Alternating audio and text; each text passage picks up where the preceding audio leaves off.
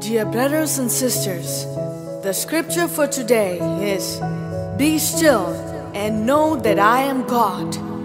Psalm chapter 46, verses 10 says like this Dear brothers and sisters, today remember to be still and let God take care of those things that concerns you.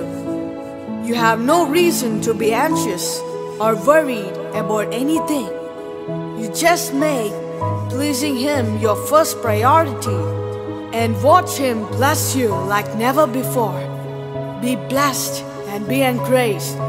God bless you all. If you have any testimony, share in the comment section. Please subscribe Sheena Paul YouTube channel. Like, share and click the bell icon. Good night and have a sound sleep. May God bless you all and God be with you. Amen.